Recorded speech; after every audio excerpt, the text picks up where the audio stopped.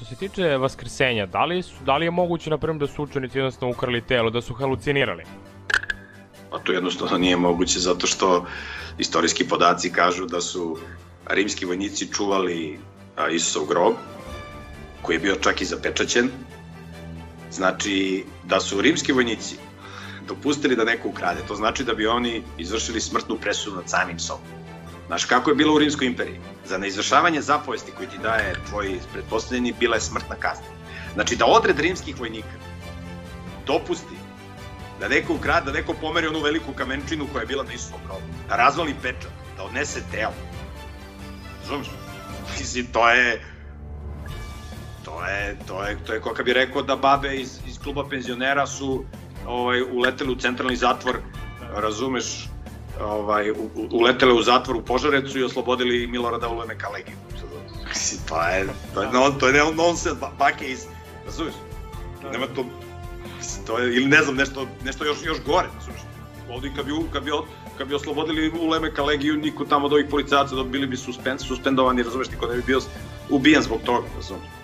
To su, razumeš, to su, to su takve gluposti koje pričaju ateisti i evolucionisti da to, to, mislim, to samo je slika tih ateista kakvi su to buzdovani i šupljoglavci, kako, kakve gluposti oni mogu da veruju. Evo sad, ajde kako i kažeš drugu glupost, da li su mogli da haluciniraju, mislim, da vide, da vide Isusa? Pa pazi, Isus je 40 dana nakon svog vaskrsenja se pojavljivo raznim ljudima. U jednom, u jednom slučaju je bilo više od 500 ljudi koji su ga videli. Da.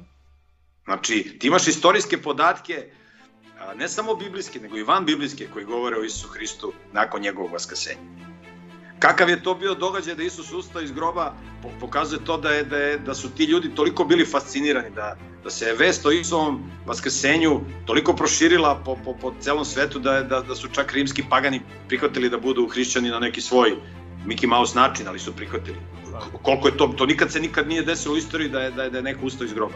A Isus je to uradio na najveći praznik, praznik Paske, kada je više od 3 miliona ljudi bilo u Jerusalimu. Tako da to je, to je događaj koji, koji, je, koji niko nije mogao da, da, da, da ospori, samo bilo ovih budala koji su pričali gluposti, razumiješ. Ajde da obradimo samo još jednu opciju. Da li su učenici možda mogli da mislu samo da je, kako da vam kažem, da je njegovo telo unutra međutim je duhovno ustao? Kako da vam kažem, da su učenici verovali da je on duhovno ustao, da je fizički još uvek u grobu, na neki način da je on, da se on probudio, a da nisu... Aha. Da, da, da. Pa ne može, ne može zato što su svi videli da je grob otvoren, da, da, da nema tela. Sad oni mogli su da misle šta hoće, ali oni su bili... Ti sad imaš jedno stanje teške deprimiranosti, gde su se svi odrekli Isusa. Da. Znači ti imaš, ti imaš opciju, imaš stanje da su se svi odrekli Isusa. I odjednom svi su tako skočili da, da, da su spremni da umru za njega. A do, juče su, a do malo pre su bili deprimirani i u teškoj depresiji. Kad sami rimski voj, vojnici, kad sam Pilat, kad sami fariseji, ovi koji su poslali Isusa na, na, na, na, na, na klanje, kad oni kažu razumeš, nema tela. Znači, da, to da. sami oni kažu, znači, ovi, sad će ovi da haluciniraju, a sami njihovi neprijatelji priznaju, razumeš, razumeš. Tačno, tačno, da, da. Uh, um, kad je Isus činio čuda, možda je on bio samo dobar hipnotizer, na primjer, kad je pertorio vino u vodu, možda je hipnotisao sve te ljude tamo. Da li je to moguća opcija? Sve, sve opcije su sve opcije su ovaj moguće. U, kad ti uzmeš izolovan slučaj, ne znaš ko je Isus, da ljudi haluciniraju, da o, znači, a ti kad pogledaš ceo kontekst ko je bio Isus, šta je on radio.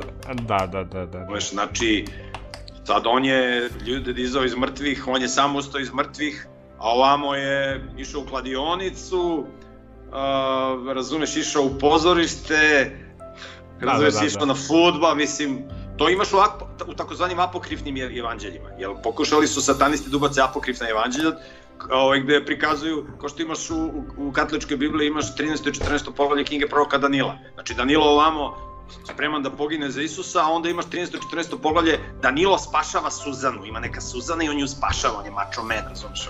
Mislim, to je, to je Mickey Mouse, razumiješ? To je... Da, da.